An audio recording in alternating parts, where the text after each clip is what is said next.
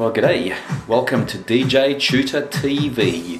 I'm John Beck, and today I'm going to show you how to record your own mixes in Traktor Scratch Pro using an external mixer. Okay, the first thing you're going to want to do is go over to your preferences over here and you're going to find in your preferences recording, click on recording, and you're going to get that. All right, so your source, internal, external. Obviously, we're doing external mixer. External input. It gives you your four channels A, B, C, D. Uh, with Traktor Scratch Pro, you have four decks. Um, so we have selected channel D as our external input. Directory is where it's going to go. You can change that. The uh, default is Traktor Recordings, so it's pretty easy to find. So you might as well just leave it as the default. You can change it to whatever you want. Prefix, you can call it whatever you want.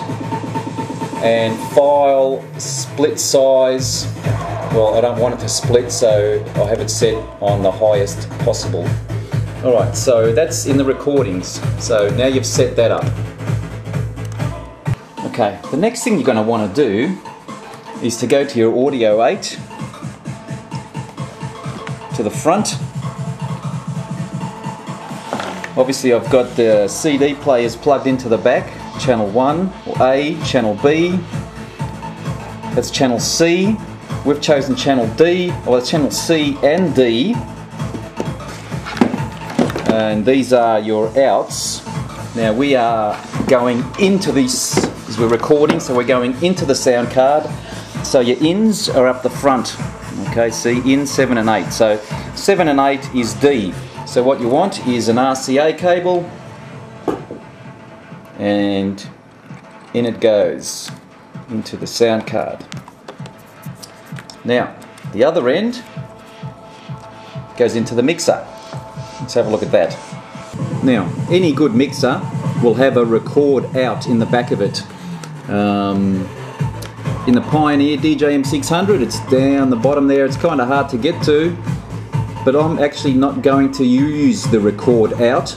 I'm actually going to use the booth.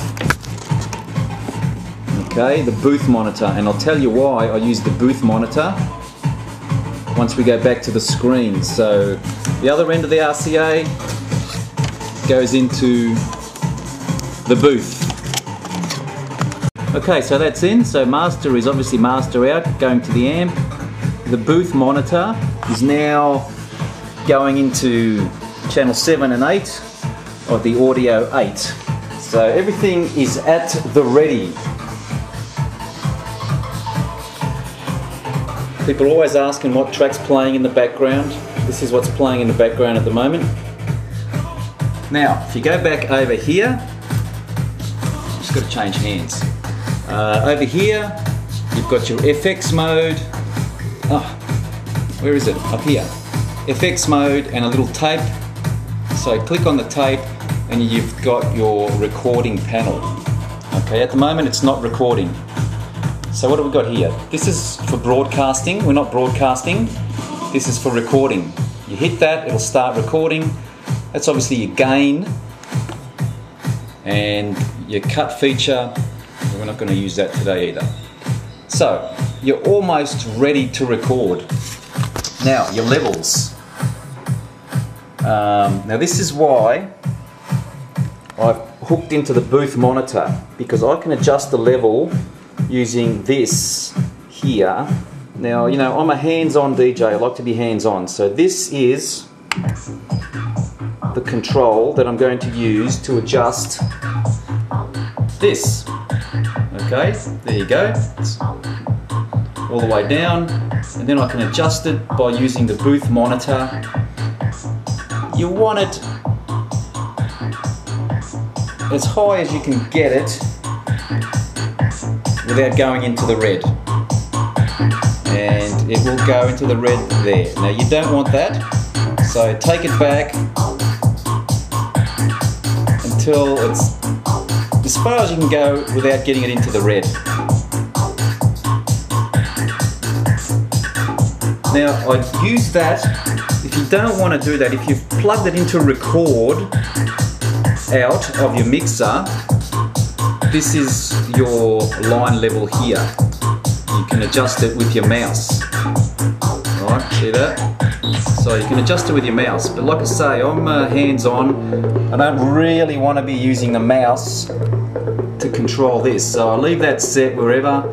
And because I've got it hooked into the booth, I can control the level from here. It's much easier to grab a hold of this. If all of a sudden it starts to peak, it's much easier to grab that and turn it back rather than to come up here, grab the mouse, point it, and then adjust it.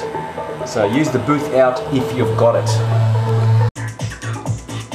Okay, so that's it. You're basically ready to record.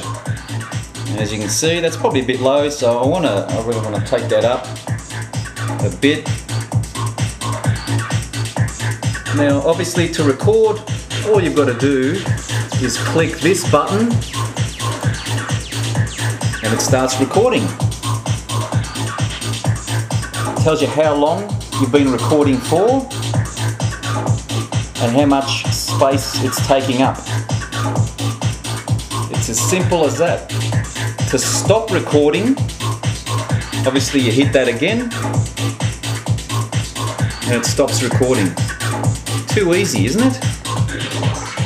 Now, it records, you're gonna have to look at my face. It records in, um, in wave.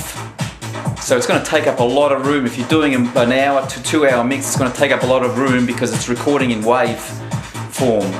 Um, so there are many programs out on the market where you can convert that down to MP3 so it takes up a lot less space. Um, so you can, you know, put it on a CD or whatever. Um, so that's recording in uh, Traktor. Uh, to find them, to find your recordings, it'll just be in here. There you go. Audio recording. And it pops up here what we've just recorded. It's as simple as that. Now, if you've got any more questions on how to record in Traktor Pro, you shouldn't. It's pretty straightforward, but just in case uh, you're having some sort of problems, let me know. I'll see what I can do to help you. Until next time, practice and enjoy.